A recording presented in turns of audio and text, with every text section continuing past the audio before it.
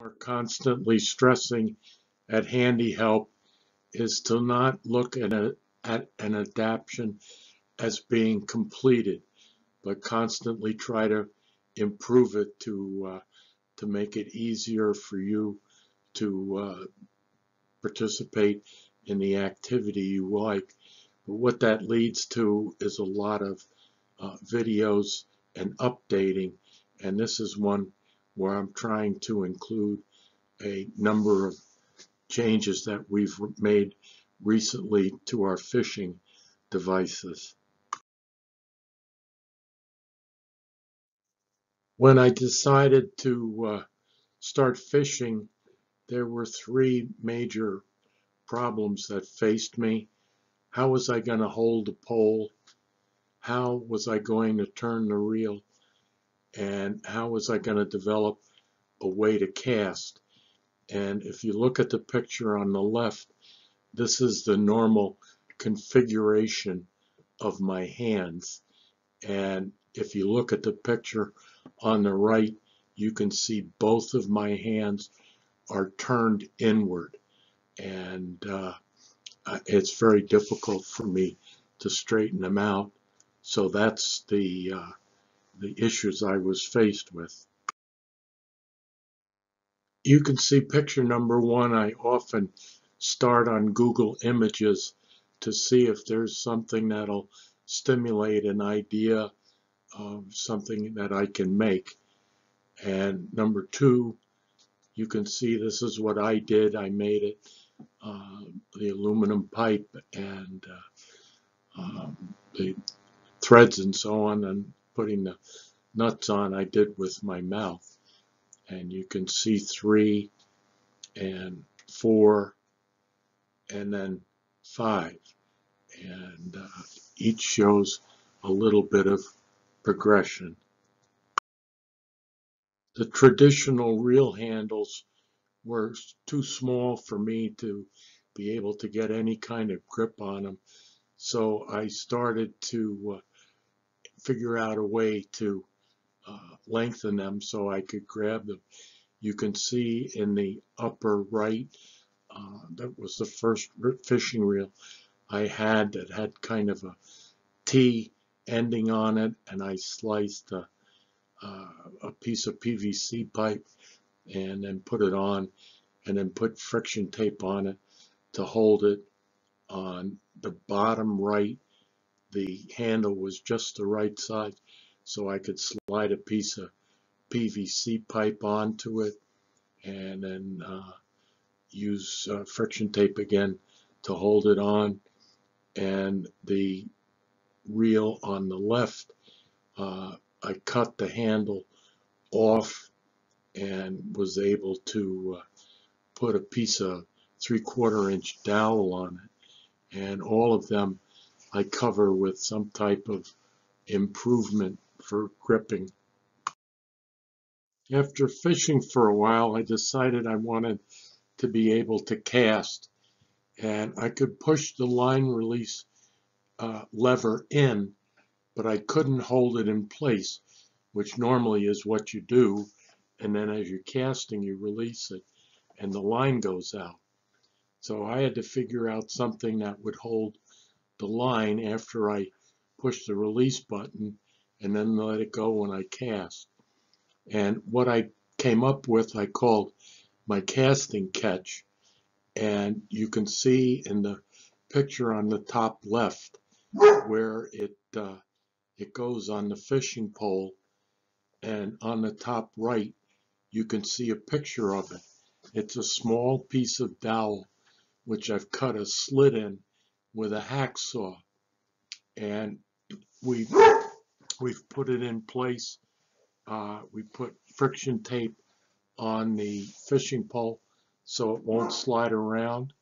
We hold it with a couple small cable ties and then we wrap more tape on either side of the dowel so it can't slide. And then my wife tied several overhand knots in the fish line. And if you look at the lower picture, you can see that when I release the line, it slides through the catch until it gets caught. And once it gets caught, the centrifugal force of the cast uh, allows the line to flow out. And I could cast probably about 20 yards. And that picture of my my wife took on the uh, the bottom right, you can actually see the line feeding out and see that uh, it actually worked far better than what I thought. See how difficult it was for me to uh, to cast with my hand and then to getting caught in the way. you can see right here, and I want to get a good picture of. Right here is a small piece of dowel that I cut a, a slit into. So I'm trying to slip the You can Fish see line there in three the knots. I put it over my leg. but Did because three of knots my in the fishing line. fingers, when I do this can get again, it I'm in, only gonna in the put slit, in one but I knot can't catches get it to stay in there when in I the remove little my slit. hand. It pulls the And I line gotta back get my out. hands in here. Came out.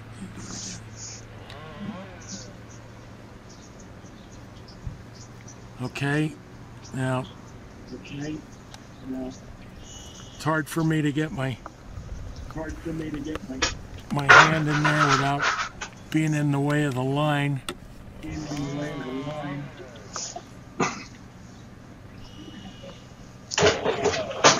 Okay, now I'm, I'm still.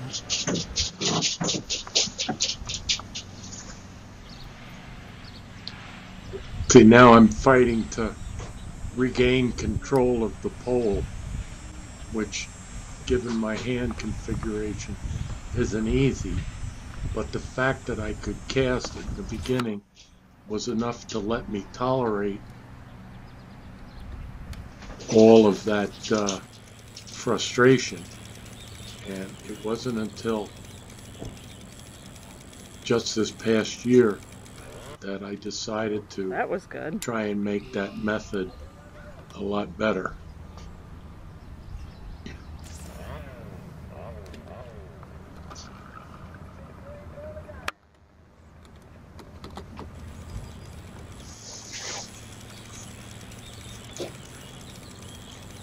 And you can see how the pole wobbled around and uh, all that made it more difficult. As you continually work to improve your uh, equipment, it opens up more opportunities for you, and including here uh, ice fishing, which I had never done before, and also uh, the opportunity to fish from a boat, which I do quite a bit now.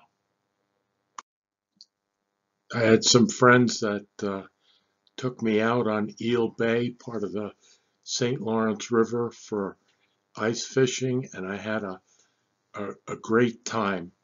And uh, you can see my adaptions and and how they worked. You can notice that uh, in the picture on the upper right, I have my quad mittens on with the one hand uh, completely covered and the other hand pushed out of of the uh, far end to let me grab the the reel crank and there's some of the perch that that we caught. But the best adaptation was uh, an ability to go fishing from a boat out on the St. Lawrence River. And I had to use my manual wheelchair. We couldn't hold it the pole the way it was before so I had to figure out a way to to strap the pole onto the chair. And uh, if you'll notice in the upper right the red circle the uh, the tilt of my hand just seemed to line up perfect with the reel handle.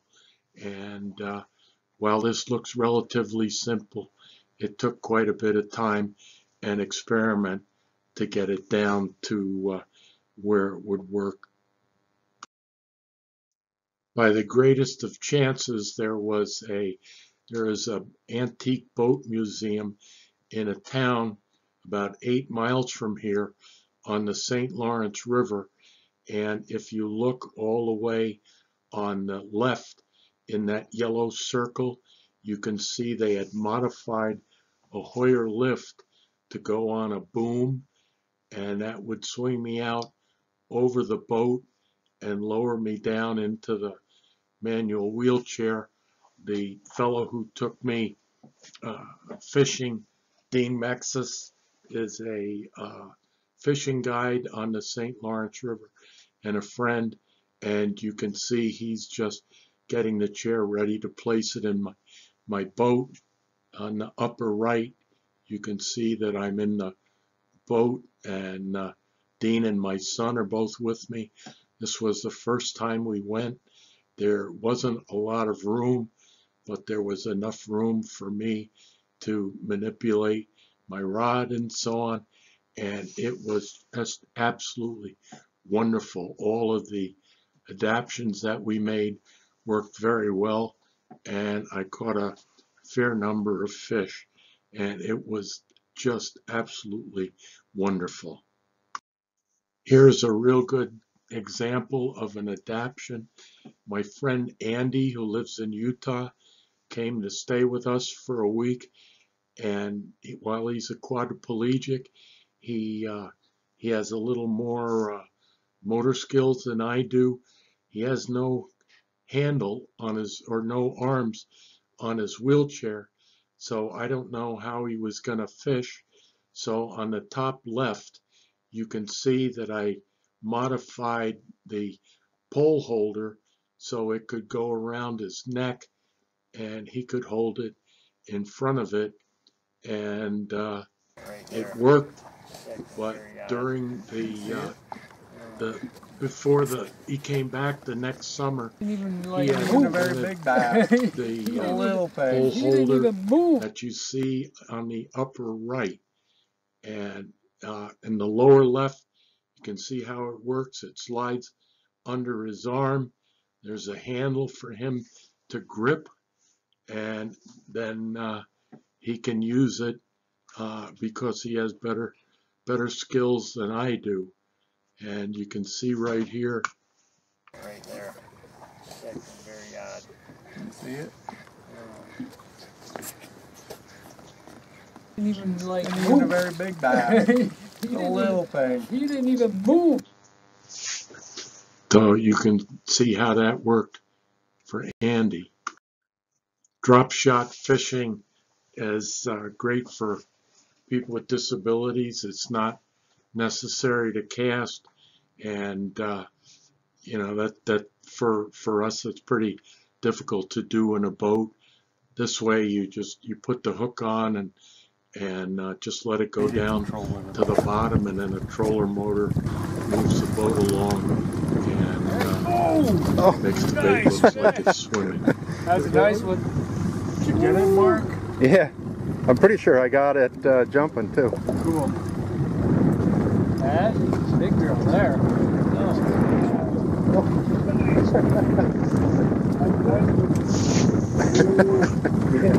I'm pretty sure I got it uh, job, Rich. Oh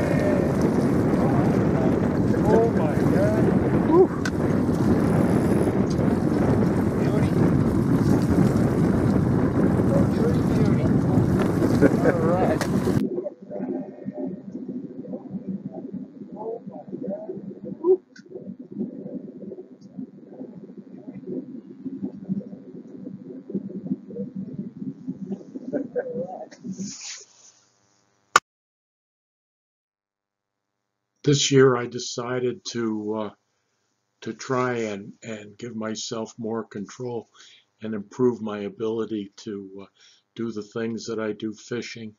And I started by shortening the handle of the fishing poles that I use in order to uh, make them easier to manipulate. And you can see in the top uh, right the spinning reel rod and the area where there was no cork.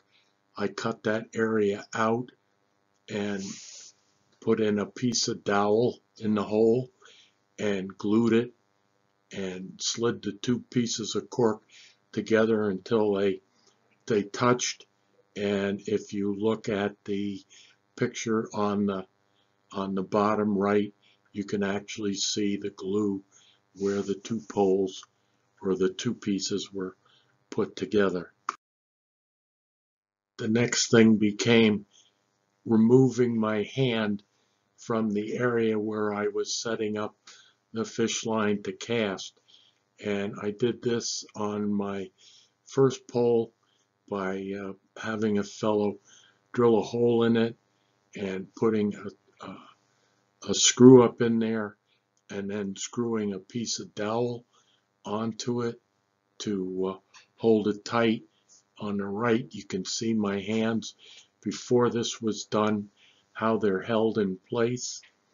And uh, below that on the right, you can see the, the handle on there and how it removes my hand uh, from the area where the pole hooks up. Uh, you can see a small perch that I've, I've caught. And uh, the third picture, I decided to cut a notch in the top of the pole holder so that handle could slide right in there and lock in place and give me more control.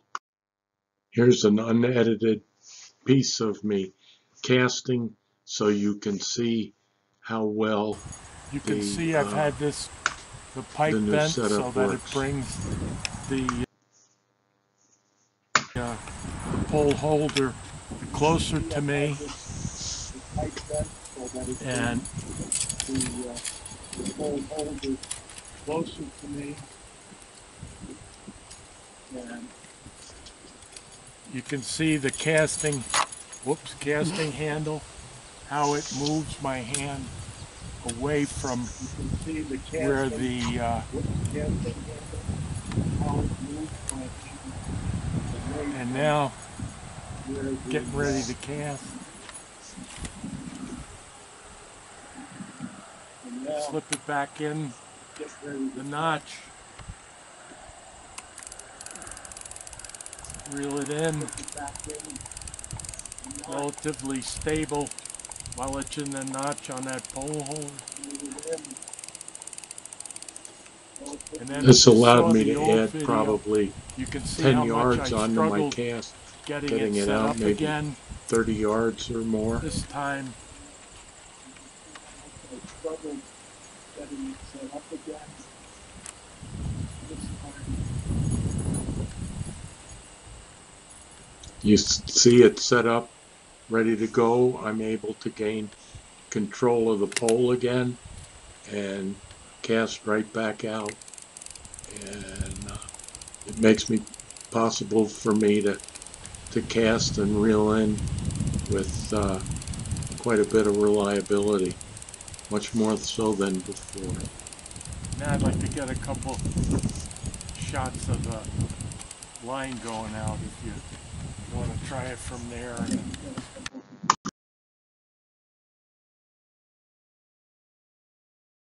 The next change I wanted to make was for drop shot fishing. I wanted to bring the pole in front of me like uh, anybody would, you know, who was out there fishing normally.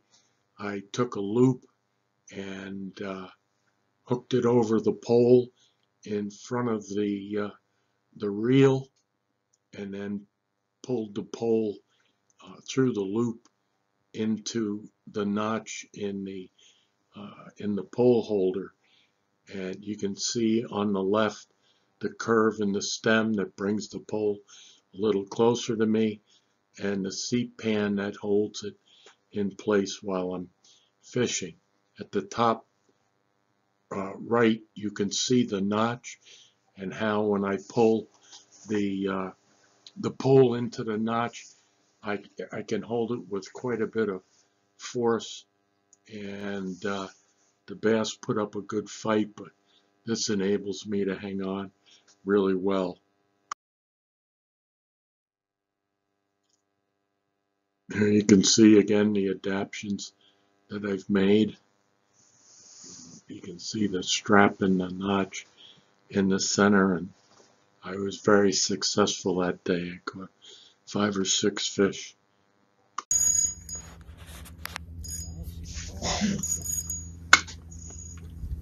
Here's a sequence of me bringing in a bass. It was about four and a half pounds and all of the uh, adaptive uh, changes worked really well and uh, it made it a lot more fun for me to have the pole in front of me and uh, be able to see things a Look at better. that, Rich. Look at that, Rick. Oh my God. That is so cool. That was Quick.